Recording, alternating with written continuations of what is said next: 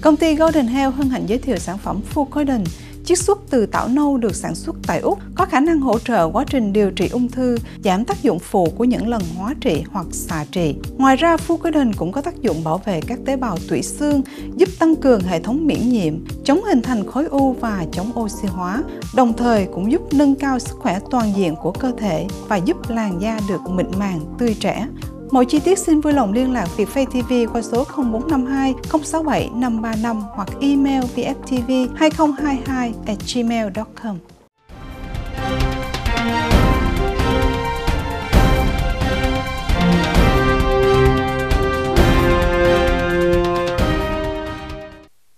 Đinh Nhung xin trân trọng kính chào quý khán thính giả của Đài Việt TV Úc Châu. Kính thưa quý khán thính giả của Việt TV Australia, thủ phủ Perth một lần nữa đã được gọi tên khi là thành phố có sự gia tăng giá nhà cao nhất trong 12 tháng qua. Trong khi đó tại New South Wales, chính phủ vừa nhắc nhở cư dân về chương trình giảm giá hóa đơn năng lượng sẽ hết hạn vào ngày 16 tháng 6 sắp tới. Trong cuộc sống hàng ngày, hàng triệu cư dân Úc đã thay đổi thói quen uống cà phê vào buổi sáng để tiết kiệm chi tiêu. Và sau đây là phần tin chi tiết trong bản tin vào lúc 10 giờ sáng nay, thứ ba, ngày 4 tháng 6 năm 2024 của Việt TV Australia.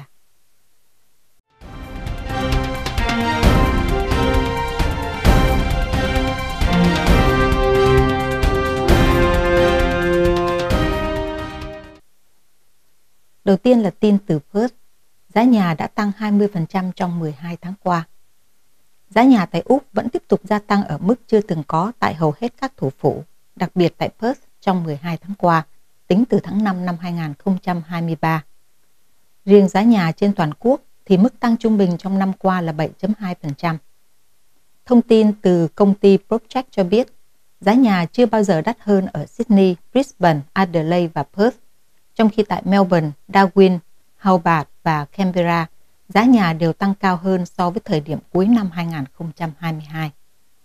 Kinh tế gia trưởng của Project, bà Elena Craig cho biết, với nguồn cung nhà ở không thể đáp ứng nhu cầu, giá nhà trên toàn quốc đã trải qua 17 tháng tăng trưởng liên tiếp và đã đạt đỉnh mới vào tháng 5 vừa qua. Theo bà Craig, thì giá nhà và giá thuê nhà gia tăng một phần do chi phí xây dựng quá đắt đỏ cũng như lãi suất đang ở mức cao. Chỉ số về giá nhà mà công ty Project vừa công bố cho thấy thành phố Perth đã tăng thêm 20,58% giá trị trong 12 tháng qua để trở thành nơi tăng giá nhiều nhất trong cả nước. Adelaide và Brisbane đang đứng thứ nhì và thứ ba lần lượt ở mức 14 và 13%.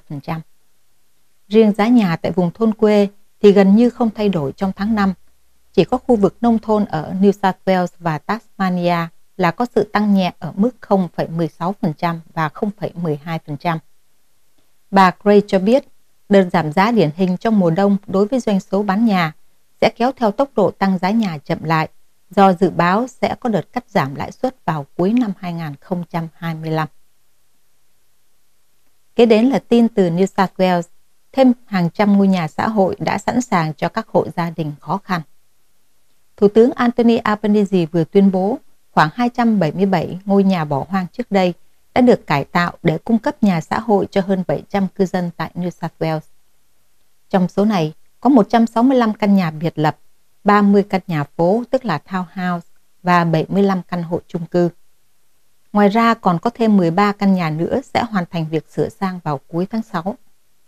Theo Thủ tướng Albanese, thì chi phí sửa chữa những căn nhà hoang này nằm trong gói hỗ trợ gia cư trị giá 2 tỷ đô la là một phần trong kế hoạch về gia cư trị giá 32 tỷ đô la của Đảng Lao động. Ông Albanese cho biết chi phí cải tạo một ngôi nhà trung bình là 80.000 đô la, tức là rẻ hơn đáng kể so với việc xây một ngôi nhà mới. Trong khi đó, Bộ trưởng nhà New South Wales bà Rose Jackson cho biết các gia đình sẽ bắt đầu chuyển đến những ngôi nhà ở vùng Russell trong vòng vài tuần lễ tới. Cũng tin từ New South Wales, chương trình giảm giá hóa đơn năng lượng sắp hết hạn. Thời hạn giảm giá năng lượng dành cho gia đình của New South Wales sắp đến gần vì cơ hội nhận được khoản giảm giá 180 đô la sẽ kết thúc vào ngày 16 tháng 6.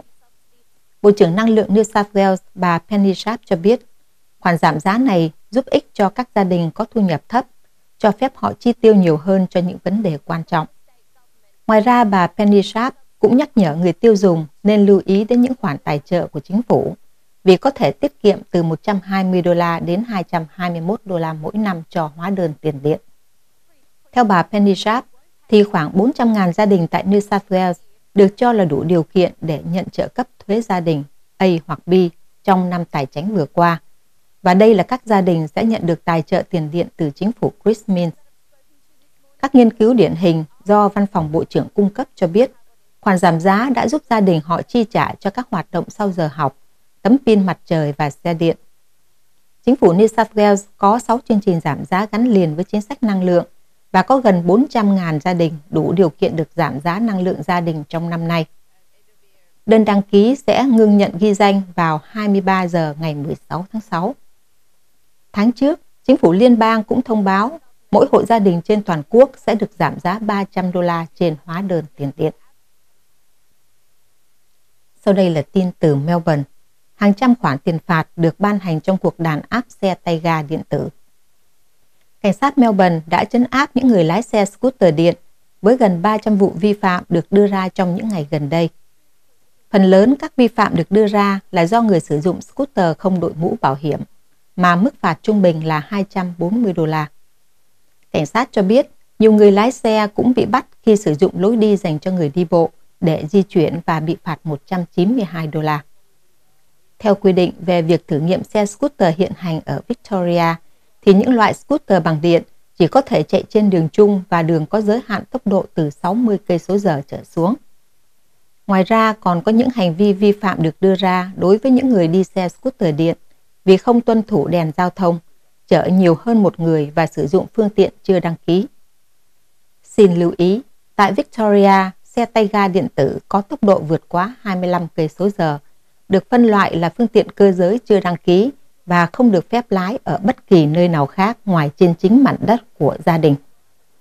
Hình phạt cho việc sử dụng phương tiện cơ giới không đăng ký là 962 đô la.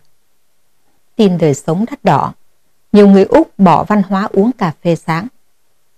Sự thay đổi trong thói quen chi tiêu của dân văn phòng đã buộc nhiều cơ sở kinh doanh chuyển sang mở dịch vụ buổi tối để khai thác nền kinh tế sau giờ làm. Dữ liệu khảo sát từ nền tảng thanh toán Online Square cho thấy ngày càng nhiều người Úc đã từ bỏ thói quen uống cà phê sáng do sự gia tăng của mô hình làm việc kết hợp, cũng như áp lực chi phí sinh hoạt tăng cao, làm thay đổi thói quen chi tiêu của mọi người. Tờ The Guardian đưa tin, số liệu thống kê cho thấy số lượng mua hàng tại các cơ sở kinh doanh thực phẩm và đồ uống trong khoảng thời gian từ 7 đến 11 giờ sáng các ngày trong tuần – đã giảm xuống dưới mức trước đại dịch ở Sydney, Melbourne và Brisbane. Bên cạnh đó, việc chi tiêu cho các dịch vụ ăn uống vào buổi trưa đã có sự gia tăng trong giờ, báo hiệu sự thay đổi trong cách người Úc chi tiêu, ưu tiên chi tiêu. Theo phân tích của Square, đối với hàng triệu quán cà phê và nhà hàng, thì việc chi tiêu cho bữa sáng của các ngày trong tuần đã giảm hơn 5% ở Melbourne, nhưng lại tăng 4% vào thứ Bảy và Chủ nhật. Tình trạng tương tự cũng xảy ra ở Sydney, mặc dù ở mức độ thấp hơn. Khối lượng giao dịch giảm 2,4% vào bữa sáng các ngày trong tuần, nhưng tăng 1,6% trong giờ ăn trưa cuối tuần. Colin Burney, trưởng bộ phận phát triển kinh doanh tại Square Australia, đã nói với The Guardian rằng các địa điểm phục vụ ăn uống cho nhân viên văn phòng đang cố gắng điều chỉnh. Ví dụ triển khai dịch vụ buổi tối để tận dụng nền kinh tế sau giờ làm – chọn đóng cửa thêm một ngày hoặc bán các hàng hóa khác như một cách tăng doanh thu. Ông Bernie cho biết thêm, ngày càng có nhiều nhân viên làm việc ở nhà hoặc tự mang đồ ăn trưa nếu đến văn phòng. Cùng với đó là nhu cầu về bữa sáng các ngày trong tuần giảm đi do đời sống đắt đỏ hiện nay. Tháng trước, một báo cáo từ Combank IQ, liên doanh giữa Commonwealth Bank và công ty dữ liệu Quantum Group cũng cho thấy người dân Úc đã giảm tổng chi tiêu cho các quán cà phê và nhà hàng ăn uống bình dân trong 12 tháng qua, trong khi việc mua đồ ăn nhanh lại tăng lên. Tin đời sống xã hội Tại sao xe hơi do Trung Quốc sản xuất lại trở nên phổ biến tại Úc? Năm nay, những dòng xe điện được sản xuất từ Trung Quốc đã trở thành lựa chọn phổ biến thứ ba tại Úc, đánh bật Hàn Quốc, quê hương của Kia và Hyundai xuống vị trí thứ tư và nhanh chóng giành được chỗ đứng trước các nhà sản xuất dẫn đầu là Thái Lan và Nhật Bản. Cụ thể, số lượng xe hơi Trung Quốc tại Úc gia tăng rất nhanh chóng, từ doanh số 4.154 chiếc trong năm 2014 lên thành 193.433 chiếc vào năm 2023. Và khả năng là con số này sẽ tiếp tục tăng trong năm nay cũng như những năm kế tiếp. Thành công của ngành công nghiệp xe hơi Trung Quốc đã gặp phải sự phản đối ở Mỹ khi Tòa Bạch Ốc hồi tháng trước đã tăng gấp 4 lần thuế biên giới đối với xe điện của Trung Quốc, từ 25% lên thành 100%. Trong khi đó tại châu Âu, nơi có ngành xe hơi trị giá hàng tỷ đô la, hiện cũng đang cân nhắc đối với ngành xe hơi của Trung Quốc. Vào tháng 9 năm ngoái 2023, Ủy ban châu Âu đã bắt đầu điều tra xem liệu có nên áp dụng thuế quan hay không và dự kiến sẽ đưa ra thông báo vào tháng 6 này. Câu hỏi được đặt ra là tại sao ngành xe hơi Trung Quốc thành công như vậy? Chính phủ Trung Quốc đã dành nhiều thập kỷ để cố gắng giúp ngành công nghiệp xe hơi yếu kém của mình có thể bắt kịp những đại công ty ở châu Âu, châu Á và Mỹ. Mặc dù thất bại với dòng xe truyền thống, nhưng họ đã đạt được thành công trong thời đại xe điện. Giáo sư Marina Yang từ Viện quan hệ Úc Trung của Đại học UTS tại Sydney cho biết, trong khi các chính sách công nghiệp và trợ cấp tài chính đáng kể đã giúp ngành công nghiệp xe điện của Trung Quốc trưởng thành, thì Bắc Kinh cũng có một số lợi thế cạnh tranh khi mà ngành công nghiệp xe điện của họ đang kiểm soát phần lớn chuỗi cung ứng. Với sự hỗ trợ của chính phủ thúc đẩy sự cạnh tranh mạnh mẽ trong nước, hàng trăm công ty khởi nghiệp xe điện hiện đã được sáp nhập thành những công ty lớn nhất và tốt nhất. Trong số 20 nhà sản xuất xe điện hàng đầu thế giới, một nửa là của Trung Quốc và 10 nhà sản xuất lớn đang thống trị thị trường đã thoát ra khỏi sự cạnh tranh về doanh số. Tại Úc, nhận thức của người tiêu dùng ngày càng tăng, khả năng cạnh tranh về chi phí, tiến bộ công nghệ và cắt giảm thuế nhờ Hiệp định Thương mại Tự do Úc-Trung Quốc giúp thúc đẩy doanh số bán xe Trung Quốc tại Úc. Phần lớn sự tăng trưởng có thể là do sự phổ biến ngày càng tăng của xe điện, với 72.342 chiếc trong số 86.828 chiếc xe được bán ở Úc vào năm ngoái đến từ Trung Quốc. Cuối cùng là tin về thời tiết khắc nghiệt. Úc có thể có thời tiết ấm áp hơn trong mùa đông năm nay. Và đó là dự báo dài hạn mà cơ quan khí tượng BOM đã công bố ngày 30 tháng 5 vừa qua. Trong dự báo, BOM cho biết nhiệt độ trong ngày và đêm rất có thể sẽ cao hơn bình thường trên cả nước trong khoảng thời gian từ tháng 6 đến tháng 8. Cũng theo BOM, mùa thu tại phần lớn Úc Châu năm nay sẽ ấm hơn bình thường và gây ra hiện tượng thời tiết rất khô cho khu vực cực Nam cũng như tiểu bang Tây Úc.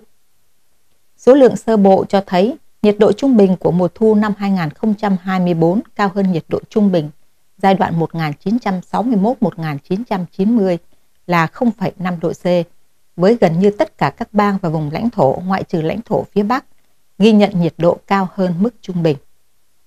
Sau một mùa thu ấm và ẩm, mùa đông nhiều khả năng sẽ chứng kiến nhiệt độ tối đa cao bất thường ở cả lục địa, đặc biệt ở phần lớn bờ đông cũng như phía nam và vùng lãnh thổ Bắc Úc.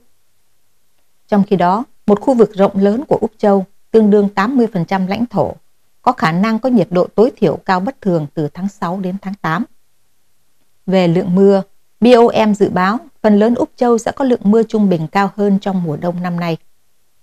Nhắc lại là năm ngoái 2023, nước Úc cũng trải qua mùa đông ấm nhất kể từ khi bắt đầu có ghi chép vào năm 1910, với nhiệt độ trung bình toàn quốc cao hơn 1,53 độ C so với nhiệt độ trung bình giai đoạn 1961-1990.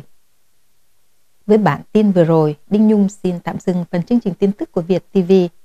Xin cảm ơn quý vị đã quan tâm theo dõi. Đinh Nhung xin chào tạm biệt và chúc quý vị một ngày thật đẹp.